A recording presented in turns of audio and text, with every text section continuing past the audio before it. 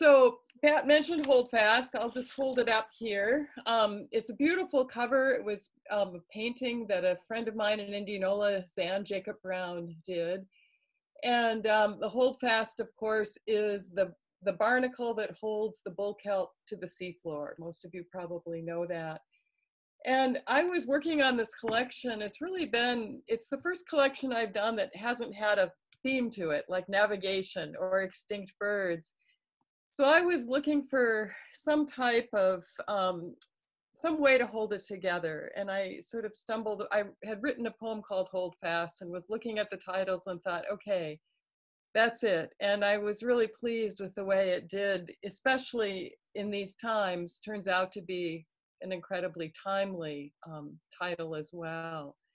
So it came out in February and so I got I squeezed in a few readings before the pandemic. Um, and many a few like this were moved online and i'm again i'm grateful to zoom even if i'd rather be in person um, so i'm going to start with an epigraph from kathleen dean moore who's a wonderful um, prose writer and philosopher who taught at osu for many years and this is the epigraph for the whole collection um, what will we cling to in the confusion of the tides? What structures of connection will hold us in place? And so I, I love finding epigraphs, especially when they happen to kind of bring things together for me. And so um, I'm going to try to read a few poems from each section to give you a little bit of a sample of, um, of the collection. So Wendell Berry, first epigraph in the first section. Now more than ever, you can be generous toward each day that comes, young to disappear forever, and yet remain unaging in the mind. I'm going to actually read, go off of my script because I decided I want to read the very first poem in here called Bittersweet. Um, many of you read poems about fall, and I found myself gravitating toward those as I was choosing which to read. So I think I'm going to start with this one. Um, I grew up in Minnesota, and there was a plant that we called bittersweet. I don't know the Latin name of it. Maybe somebody knows it. Um, but it's described in the poem. And I just, um, I think fall is a bittersweet time, especially this fall. Bittersweet, my mother called it, filling the back of the station wagon with tangled branches. The only way she knew to bring what's wild inside the tiny rooms of her colonial. How could I know it would trail me all these years with its bright eyes? Sweet bitter, Sappho called it, knew too well the heart's grammar that the tang of cherries lingers longer than the sweet that the ripe fig sweetens as its skin begins to pucker. It is just they are so intertwined. We can't greet one without the other, one's bright twin, one's lengthening shadow. So moving on, this in the first section, I, I sort of indulged my memories and went back and, and thought, um, just revisited scenes from my childhood, but again with sort of an adult lens. And um, I often get poems from NPR. On July 17th, 2014, it was the 68th anniversary of the bikini. Who knew? so, so that was a great excuse to just, you know, go back into my memory banks a little bit. Growing up in the 60s, I knew the bikini as what my friends and I wore strapped to our flat chests. Nothing yet to hide, nothing between us and our copper toned tans. Oh, we slathered on the baby oil, glistening like slick linoleum in the hot Midwest sun. We didn't know it as a revolutionary act, wearing this skimpy suit, so small it could pass through a wedding ring. The ad, when it first came out, invented by Louis Réard to stir things up after the war. We just knew the song that played on the radio. She wore an itsy bitsy teeny weeny yellow polka dot bikini and sang along, vamping it up. We didn't know that it was named after the atoll where the first bomb was tested, though I remember wondering, ah, the innocence of youth, why the atoll was named after a swimsuit. We didn't know that fallout from atomic testing slowly poisoned those on nearby islands, that strontium would honeycomb our bones as we've long since outgrown our bikinis, worry now about osteoporosis. In fact, can hardly recall wearing a bikini at all. The next one is also kind of a trip back in memory. Um, my family had a tradition of, play, of playing Monopoly on Sunday nights, and, and it was um, we'd gather around the card table and then we'd fight over who got to be the Scotty or the Iron. Um, and so when I saw a little clipping in the newspaper that they were updating these tokens, it sort of broke my heart and so I, I wrote a poem about it. And the poem kind of took a direct direction of its own in the end. Monopoly. The boot booted, wheelbarrow wheeled out, thimble thumbed down, to be replaced by a T-Rex, a penguin, and a rubber ducky, says Parker Brothers, will not travel down tradition's track. One extinct species followed by the soon to be extinct too obsolete, replaced by one ubiquitous, but voted in and out by the people. What about that out of era top hat? Did it clutch its, didn't it clutch its cane, exit stage left decades back? Did we ditch decorum then? And when will we nix deep six the battleship? What to make of this trading in of tradition for what's trending this day, this hour, this millennium. How to pass along our brave old world. We leave the Scotty with the cat, circling the board, buying up Park Place, Boardwalk, all the railroads, while we, distracted by our 24 hour news feeds, can't make a move. I'm going to see if I can slip in a poem for Sandy here because she really um, told me how much she likes my Titanic poem. So let's see if I can find it quickly in the book here. Okay. This is on the 100th anniversary of the sinking of the Titanic, and it's for the bandmaster. We've seen the movies, sung the song, tried to imagine beyond Hollywood's rendition the ship that would never go down. But it did. Stern sank first, bow thrust up like a skyscraper, lights winking in each stateroom until the generators, generators sizzled, slid into the sea. Meanwhile, the slow, confused rush for lifeboats Women and children, first class first, those in steerage left below to pray. Most accounts blame the captain. He was indecisive, muster weak, lifeboats launched half empty. Radio man ignored warnings, radioed the wrong position. They say he went down with the ship, listening to the wind snatch notes of nearer, my God, to thee, Though even that story may be fantasy. In the end, it was the musicians who cared for the passengers, turning to their art to sustain them, though it didn't keep them afloat in the frigid waves of the North Atlantic, didn't bring them home to their families, ticker tape parades. 100 years later, we try to imagine not those lucky in the lifeboats, but those who stayed on deck, stroking a violin, prelude to the cold sea snapping shut like a purse, playing music that won't save anyone, each note hanging in the insubstantial air. So that's for you, Sandy. The next section is um, has an epigraph from a poet I love Jane Hirshfield and a really quite old collection of hers now called The Lives of the Heart.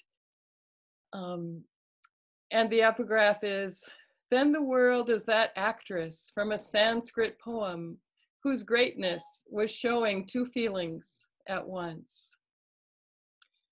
So I, I mentioned earlier, I sort of chose poems that were um, set in the fall. And this goes back a long ways, back to my fishing years. I did gillnet for four years, and and um, one year after a really lean season, we wanted to go to Lake Chelan, and so we went there, and then we picked apples to pay for our stay, and um, I gained a great appreciation for what hard work it is, and I also got a poem out of it. Um, and this is for my former husband, Dave. Late September, picking apples. Maples drift toward fall across the valley. Red veins creep. Green leaves seep to yellow. Below, Lake Chelan draped in gauze. On the hillside, apples wait on sturdy limbs. Back from a lean season, we pick apples to pay for our stay. I drag the wood ladder, wood ladder to a gnarled trunk, set three legs in soft earth, apex vanishing into the cloud of galas. I square my shoulders, canvas bag loose like an apron across my chest, cinch the drawstring tight, climb each flat rung higher into the crispness of fall. I learn then to reach for one apple at a time, to twist its umbilical stem until it releases, ease each apple into the canvas sack, reach measuring the span of my domain, fall's fleeting circumference. I wobble down the ladder to the wood bin pregnant with apples, empty the sack with a tug of knotted rope, quiet thuds. Back on the ladder, a new radius, reach, drop, palm round firmness of apple by heart until I can reach and drop like breath. Inhaling apples, chill, fall, exhaling sun, salmon, summer, muscles tightening to hold the bag open, willing the heart to open to whatever fall brings. Meanwhile, summer's last promise glistens like the lake below. All that eludes, the apple, always just out of reach. The next one is kind of moving on to August, um, and this is actually the title poem, Hold Fast. And the Hold Fast is, is described within this poem, so I won't I won't describe it. I think it's clear, um, but it just seems like it's also a really good, um, valuable metaphor for these tumultuous times we're living in. Hold fast. The last week in August, too soon for falling leaves, fog that rises at dawn, ghosts up the beach, geese lining up in a ragtag V. Beyond the sandstone ledge carved like a torso by the waves, beyond purple sea stars inching toward tide pools, Ribbons of bull kelp drift with the tide, ebb and flow, anchored to the seafloor by a half inch barnacle called a holdfast. It knows the principle of hunkering down, waiting out the storm, staying put. All winter, beneath the sea's relentless chop, it holds fast, gives over to each storm, flows with each rising tide. All winter, it lets go what it can, holds fast to the rest. So moving on to the fourth section, um, the epigraph is from a, a book by a wonderful memoir by a writer, Sally Mann, called Hold Still, a memoir with photographs. And the epigraph is each of us leaves evidence on the earth that bears our form.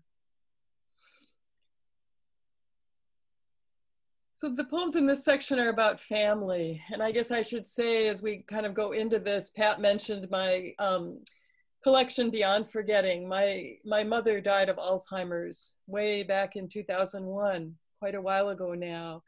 Um, and I wrote poetry as a way to get through that really hard time. Um, so some of the poems from that time are in this section. And I chose this one because it's about making pies, which my mother used to make amazing pies and i also associate it with summer because um, i just i remember all those delicious peaches.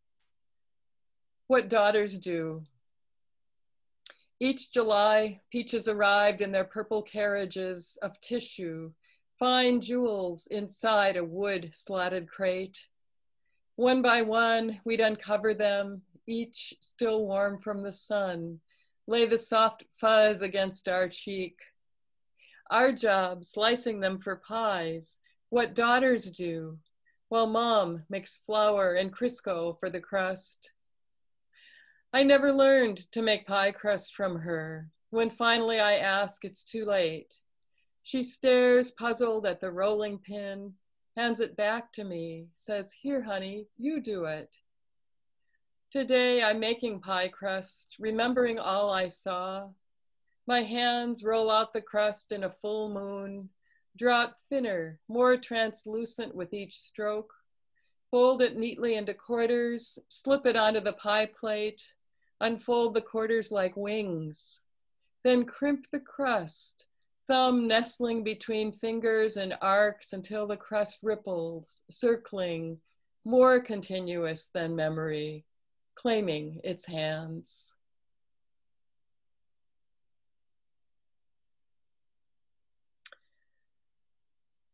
The next one is um, it's about a uh, it's about Thanksgiving, and I guess since Thanksgiving is coming up, it's another family poem.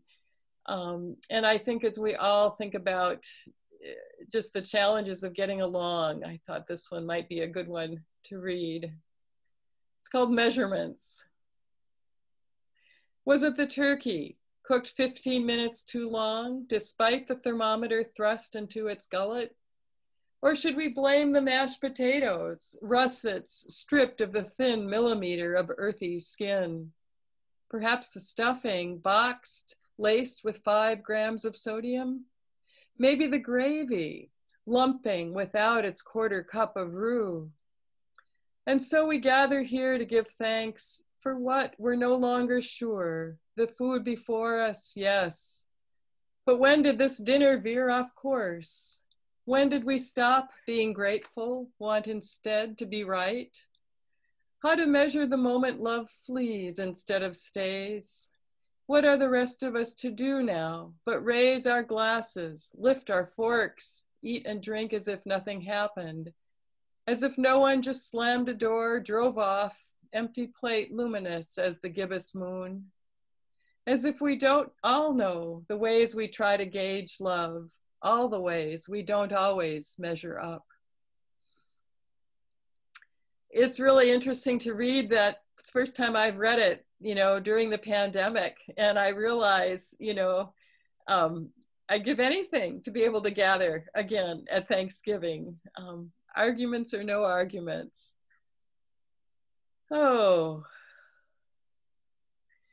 The next poem is a sestina. And um, a couple summers, a couple, three years ago now, my husband John's mother, Betty, passed away. And, and we went through all of the rituals that have, I think, become um, second nature to those of us who've lost our parents and, you know, moving everything out of the house, dividing up things. Um, and in the process of doing this, I, I ended up deciding that I was going to give myself, to help me focus, give myself the assignment of writing a sestina.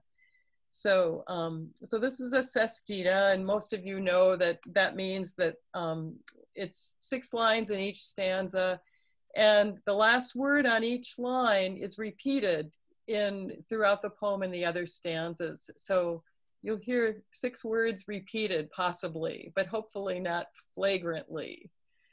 So this is called Taking Down the Paintings, and this is dedicated to my husband John's siblings, Sarah, Ann, and James.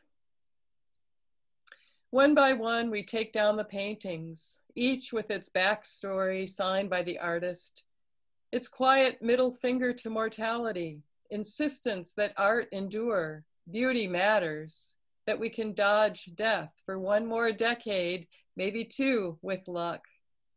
But the decades wing past, kingfishers trapped in flight, painted on pottery, pottery, trivets, etched in stone, and death not yet on our minds. We wonder about the artists, Are they prosperous or starving? Will their legacy endure as long as this painting? We'd wondered when mortality would don a capital M, not a stylish beret. Now mortality strides into our lives, the word we'd avoided all these decades, letting our parents take their turn. Endure the slings and arrows, we won't get painted into a corner. So we turn to art. Let the artist do what artists do best express the unexpressed, defy death in every hue. One painting's ghostly cross glorifies death, while orange poppies on a hillside shout, endure, and they will.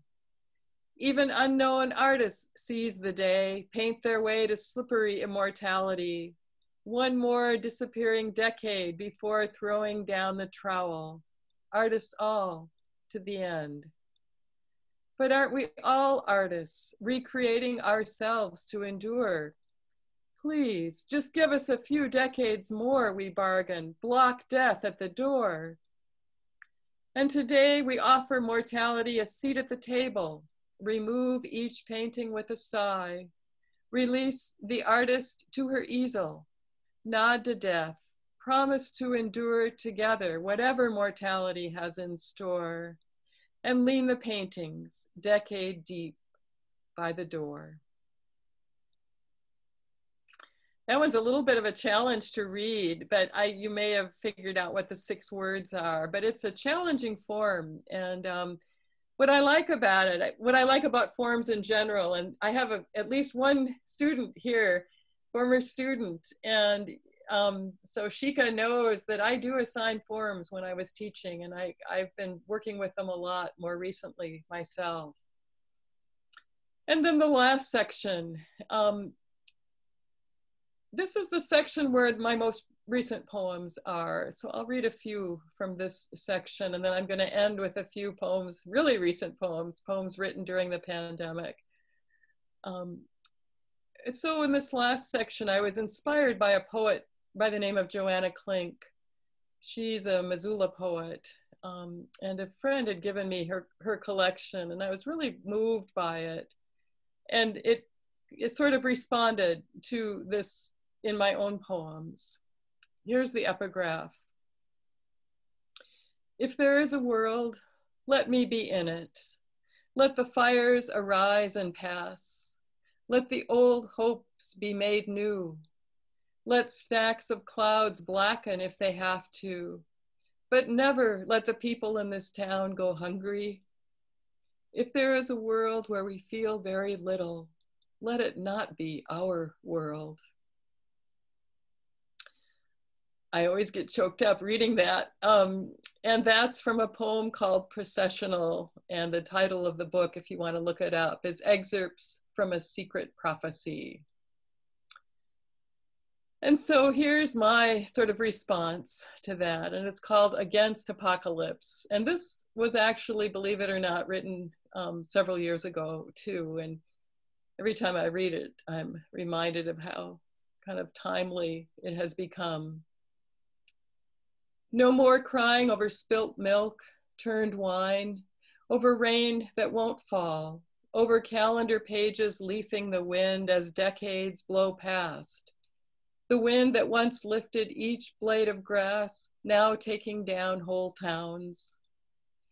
Meanwhile, the earth spins on her axis. Day and night arrive on schedule, but seasons on strike. Certainties flown with the birds, ocean lapping, hungry at the shore. Why do so few say it? The end of the world at hand? Still, we post photos of risotto, take selfies at the beach of our bodies buried in the sand, hunker down with YouTube, binge on Netflix, take up Zumba. Meanwhile, politicians lead us like lemmings for the cliffs, while the rest freeze in futures brights. The earth keeps spinning, sun rises and sets, civilizations come and go. We won't be the first, though we may be the last. But remember your neighbor who showed up with a pot of soup, still steaming the day you lost power. Another who shoveled you out, drove you to the ferry in his battered four wheel drive. Who knows what's ahead? Fast burn or slow freeze, asteroids, black holes, exploding galaxies. If someday none of us can see the sun, remember this the world you want to inhabit.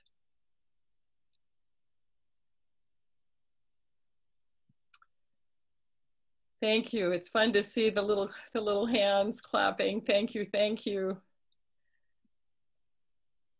And I'm going to read, this one is also, these are the kind of the more um, sobering, I guess we could say, poems. Um, so on that theme, I'm going to read one more and then I'm going to read some um, pandemic inspired poems, which actually have some humor in them. So you can look forward to that. Um, this one I wrote, it was the last poem I wrote in this collection, and I had attended a reading by Linda Bierds, a wonderful poet that I have admired for decades. And in her new collection, she had a number of uh, form that I was hadn't tried yet, and so I was inspired to try it. And the form is called a cento, C-E-N-T-O, and um, in it you take lines from other poets and put them together in an order that makes sense. Um, but so your poem is made up of only of lines from other poets, and it's it's legal to do this. And it's also, I really enjoyed the process. It gave me kind of an excuse to go back through and read poets I hadn't read in years who'd inspired me early on. Um, and looking for lines that I liked and then kind of assembled them into a poem. And since there are a number of poets out there, I'm going to just read you the names of the poets. So you may hear them I'm, and see if you can pick them out as I'm reading. Um, these are in alphabetical order, not the order they appear. Elizabeth Bishop, T.S. Eliot, Jack Gilbert, Tess Gallagher, Robert Hedin, Tom Jay, Galway Kinnell, Ted Kooser, Theodore Roethke, and Joan Swift and there are many more poem, poets I love. So this is just who I kind of chose off, picked off my bookshelf on that particular morning. So this is called Each Bird Singing. And the title is also a nod to Tess Gallagher, who has a, a poem titled Each Bird Walking that I've always loved. What seas, what shores, what gray rocks, and what islands, and scent of pine and wood thrush singing through the fog. So you see, to reach the past is easy. A snap, a snap of the sea, and a third of a century passes. Good memory, if you are such a boat, tell me we did not falter in the vastness when we walked ashore. I am alone among the others who have stood here as they looked out over the snowy fields, holding their breath. What the train and the river were saying, no one could understand. We just stood there, breathing what was left of the night. The great light cage has broken up in the air, freeing, I think, about a million birds whose wild ascending shadows will not be back. Is light the last thing lost, or never lost at all? All's a scattering, a shining. There is time, still time, for one who can groan to sing, for one who can sing to be healed. We must risk delight, learn the flowers, go light, perhaps a speckled dream to wrestle in the night far out in a universe of tomorrow we can't see, is singing the last word of a song we heard long ago. Sparrow, your message is clear. It is not too late for my singing. With small hope from the center of darkness, she calls out again and again.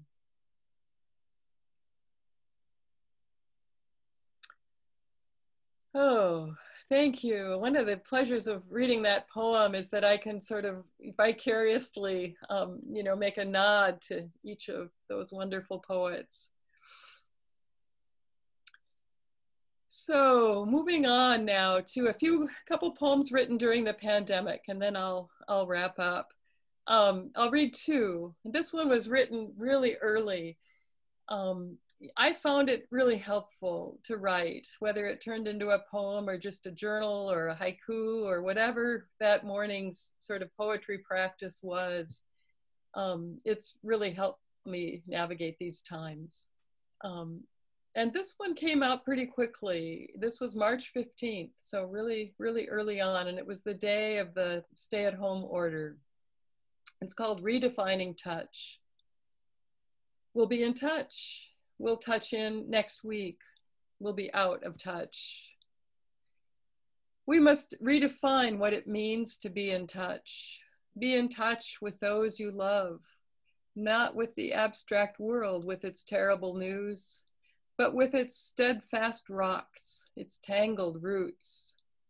Listen to the news until you can't, then go out the door, touch all you still can, damp earth crumbling in your palm, tangled roots that burrow down into the dark, trusting what they'll find. Say no to crowds, to those you don't know for now. Stick with those you do. Reach out to the neighbor next door, even the one you quit talking to. Reach out to those alone, loved ones gone. Open your heart when you can no longer open your arms. Let in the pain of others because we must, but don't dwell there.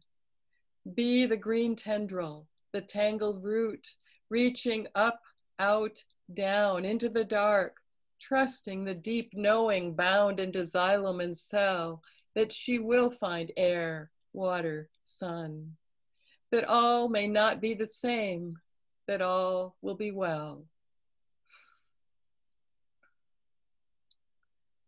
Okay, and then I'll, two more. Um, this is a slightly lighter one, and this was written three months into the pandemic. And um, those of us who I'm grateful, very grateful to have a wonderful partner to be going through the pandemic with. But you know, it's funny how you've been with somebody all these years, 20 some years now, and he still can surprise me. So um, this is in the third month of the pandemic, my husband goes through his sock drawer.